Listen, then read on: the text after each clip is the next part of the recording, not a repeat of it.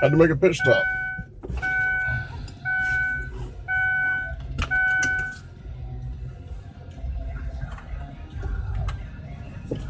Now, rolling on into Subligna, baby.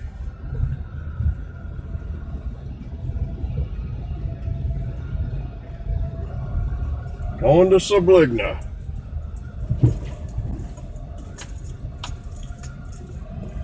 Guess I could speak on uh, memories of Subligna.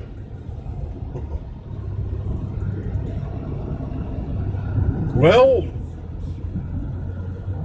uh, personally, I was, uh, I've been involved with uh, three different promotions that have ran the uh, community center in Subligna. Going uh, back to uh, 2009, the, the Southern Wrestling League, which uh, I was the commissioner of the Southern Wrestling League. That one lasted, oh geez, um, about, I guess, uh, summer of 2011. So I guess that promotion lasted about just a little over two years.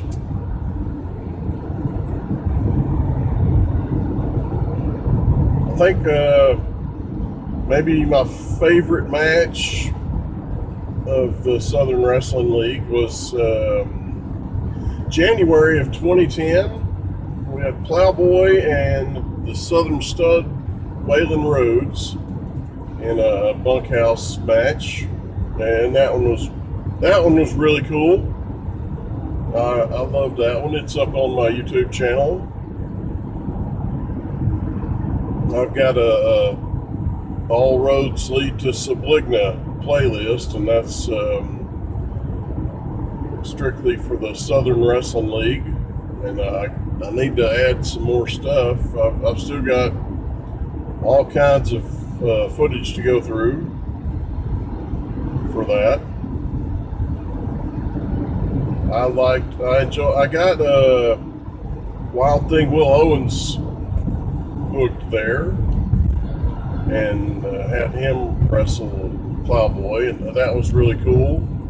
Because uh, Will Owens is the uh, the real deal from Somerville. And, uh, Somerville's a town in Alabama. It's also a town here in Georgia, so the uh, fans got kind of a kick out of that. That was cool. Remember, we did the uh, 10 bell tribute to Nightmare Ted, Ted Allen. Rest in peace, sir. He uh, he appeared on two or three of the shows, uh, I believe. I mean, I remember remember Ted uh,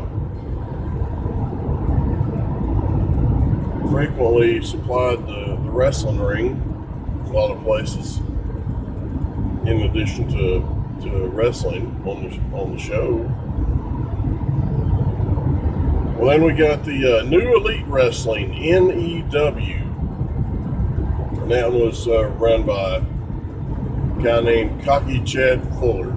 So we had a tag team Cocky and Wild. That was uh, Chad Fuller and Travis Lancaster.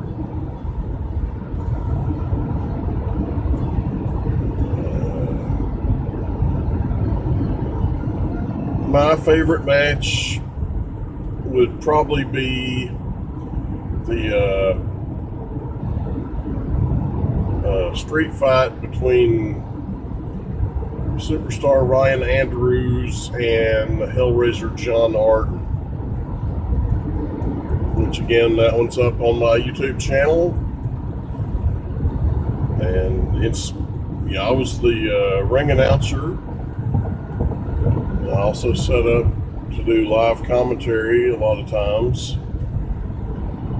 and I, for some reason, I didn't. It didn't resonate with me that that was a street fight. Either I'd forgotten or it wasn't, you know, marked on the on the paper. I'll have to go back and look because uh, I'd feel real stupid if I denounced it as a street fight and then I didn't know what was going on. yeah. So that one that one lasted about um, uh, a little over a year because it's like they didn't run a show for they didn't run they didn't have a, an event for like six months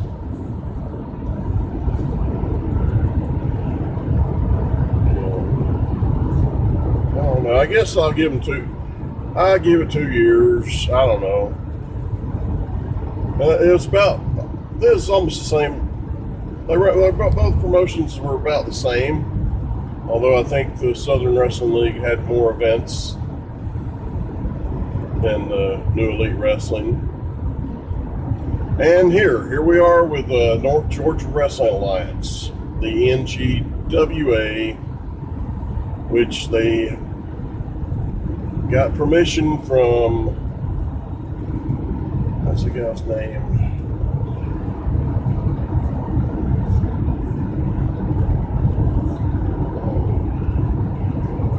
Danny Dees. Which I'm sure I've met him a couple of times, but I, I don't I've never I don't believe I've ever had much conversation or anything with him. So I don't really know him. But he was the uh, one of the uh, original NGWA promoters in the 90s.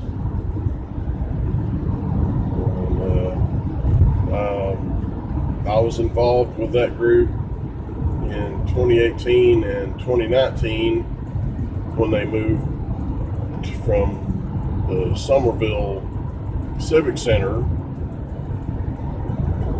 to uh, Subligna. And they're still still running. So I guess uh, 2018, here we are, 2021. So NGWA has outlasted them all. Although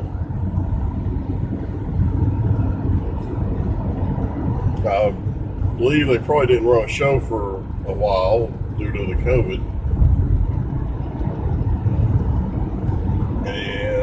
Not sure if I have a favorite match that I can really think of.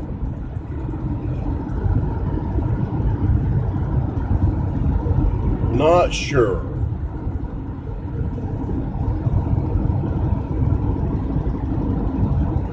I really, I, I enjoyed the uh, shows at the Somerville building.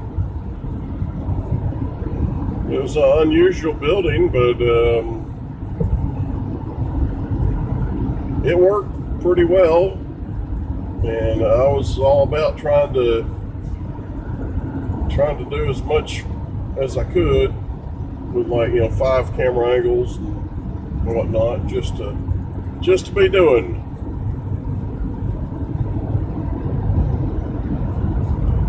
Uh, nearly every bit of that that I shot is up on my YouTube channel.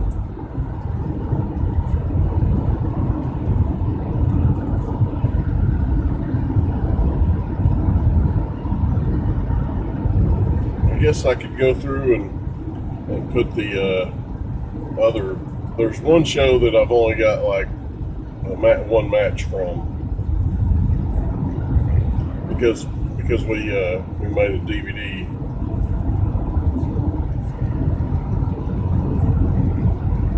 I believe I'm pretty sure that's the last DVD production I ever did was the uh, Frenchy Riviera uh, retirement event, Frenchie's Last Dance.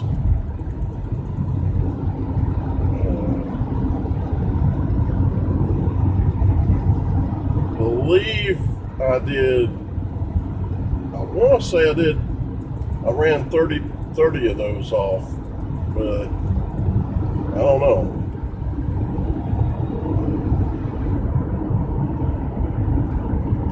Can't remember, man. That's been a while back.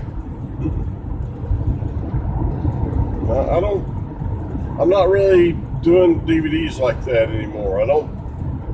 You know, sold off a lot of my equipment. I do not have a duplicator. I do not have the same software that I used to do, use. Um, let's see, is it this? It's coming up to my turn's going to be coming up here. There's Dollar General in the middle of nowhere.